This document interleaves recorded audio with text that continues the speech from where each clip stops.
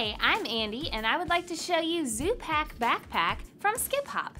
This adorable backpack comes in a variety of cute styles. This particular one looks like a little dinosaur with a little three-dimensional horn and spikes. It does have a front zipper pocket that is perfect for anything small. It has a little mesh compartment there in the back.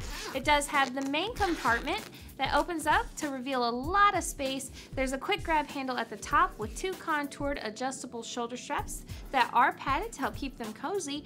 And it even has a little slide pocket on this side here that is stretchable, perfect for a water bottle or anything else that is small. Your little one is gonna love carrying around their stuff with this backpack from Skip Hop.